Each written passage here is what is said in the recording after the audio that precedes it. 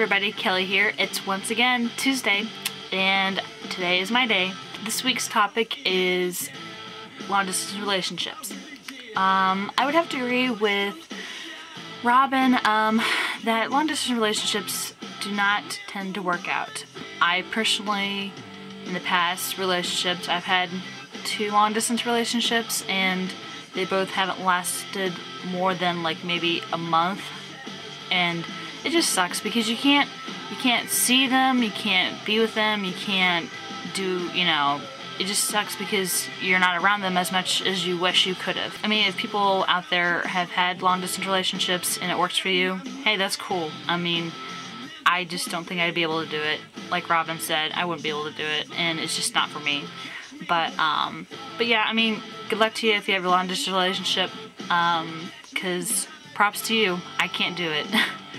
but yeah, I mean, just to be able to have a long distance relationship, you have to be faithful and, um, I mean, define long distance relationship. You have, you know, if it's maybe like an hour away, that's doable. You could probably drive there. Um, I mean, gas, granted, it's gone down in pricing. It's like, I think I saw gas today for a dollar and I think 67 cents or some something like that but um, gas has definitely gone down and you could pro or not gas um, gas pricing has gone down and you could probably definitely um, be able to drive there if it's like an hour or you know maybe two but if you live like you know one person lives here and the other person lives there across the you know the world um, I don't think that really you know can work out. I mean it's kind of hard but I mean, yeah, if you can do it, do it. I can't. So, um, that's my opinion about long distance relationships is that, you know, it's hard to do and you just, you know, if you, you know, if you have the patience to wait to see the person whenever you do, um, good job because I definitely don't have patience. patience is not one of my virtues at all. I would tell you this. I, you know, uploading videos takes freaking forever. I cannot deal with it. It takes too freaking long. And then I get to the point where I'm about to lose my mind. But, um, that's, you know, you know, 20 minutes or something like that. But, like, having patience to wait to go see somebody, you know, a year or something like that. If you live, like, you know, on the other side of the world and another person lives on the other side of the world, I don't think I'd be able to handle that. So, but, yep. So if you have a long distance relationship, good job. I, you know, I can't do it. So, okay, now on to the other part of um, this week's topic. Well, questions now. We have three questions, and here's the first one. Whoa. Okay, whoa. Uh, uh, okay, whoa. Uh, yeah. Uh, check it, check it. Not in any particular order, but um, first one would have to be hands down the Veronicas. Awesome, amazing, love them. They're great and I saw them in concert um, about a couple months ago and it was just amazing. Best concert in the entire world I have ever been to. I got to meet them, which was even better. I loved it. Um, so yeah, Veronica's definitely hands down number one. Um, number two would have to be um, uh-huh, her. I like them. Uh, I mean, Leisha Hailey or Hadley or, you know, girl from L, you know, the L word, you know, Alice. She is, um, a singer with this other girl. I, you know, can't remember her name off the top of my head right now because, you know, my brain's kind of fried from work. Their group, they have, you know, their voices together are really good.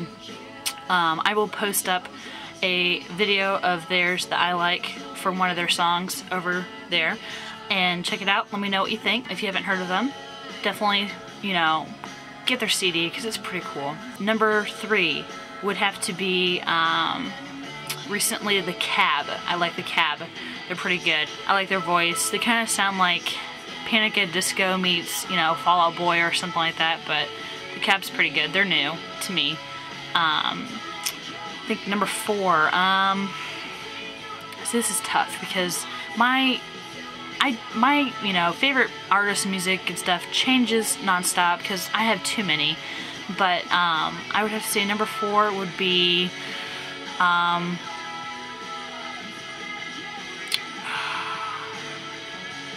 I don't know.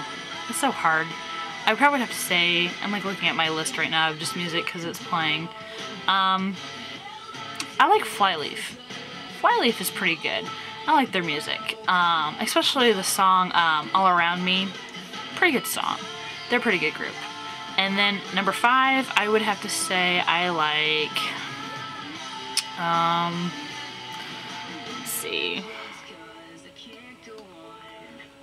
Oh, major favorite group so far, Paramore. Love their music, especially Decode. Great song. Love it. They're great. I love, um, oh, I, of course I can't remember her name either, the main singer. Um, something like Hayley or something like that, but she's really good. Love her voice.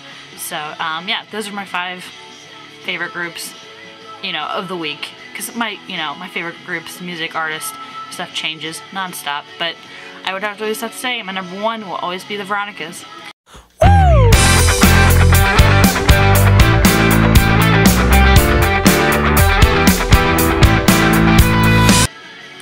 Earth Stood Still, and it's the one that's got it's got Keanu Reeves in it, and it's okay. It's not the greatest movie. I just you know, I sat there and I just didn't get into it. I actually started falling asleep during the movie.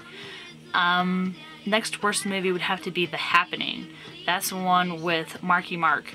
Um, I, you know, it's M. Night Shyamalan's movie. I didn't, I like most of his movies, but this movie was just stupid. I'm not gonna say anything like, you know, what the movie's about and ending and stuff like that, but it's just, you sit there and watch it, and it's kind of just, the ending's like, okay, so, you serious? That's what it pretty much is. Um, so yeah, and then probably my third worst one would have to be um, Don't Mess with the Zohan. I love Adam Sandler, but seriously, this movie was just insanely stupid. I didn't like it. So those are my worst. My best would have to be, um, no, no particular order either. Um, actually, it's a tie between Dark Knight and um, Iron Man for like action-ish. Um, I really love both movies. They're really good. Um, I also loved the movie WALL-E. I loved it. The little character, he's so cute.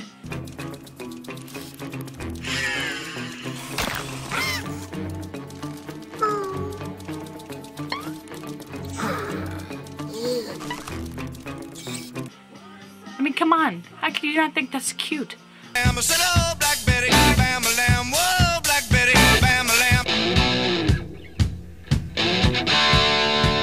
So I've decided to put together like a little clippage of like favorite quotes from different movies, TV shows, and whatnot. But um, my personal favorite quote that I like to say and go by is "Live, laugh, and love."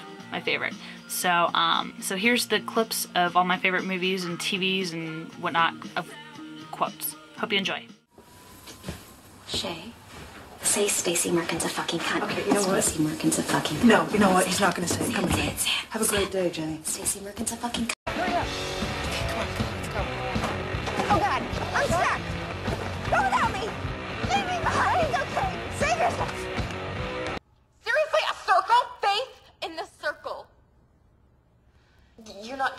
Me because I'm really not in the mood. Relax. If I was gonna jump you, I'd kiss you first. Bite me, queer eye. Not if you're the last Barbie on Earth. Oh, really? What's gonna happen? Are we gonna have a rumble, chica? But at least you'd say you have a totally hot girlfriend. So that is my video for this week, and I look forward to seeing everybody else's videos throughout the week. And um, be sure to email us with topics or questions to partyinthecloset at yahoo.com, and we will be sure to get to them next week. So, um, hope you have a great day, and talk to you later.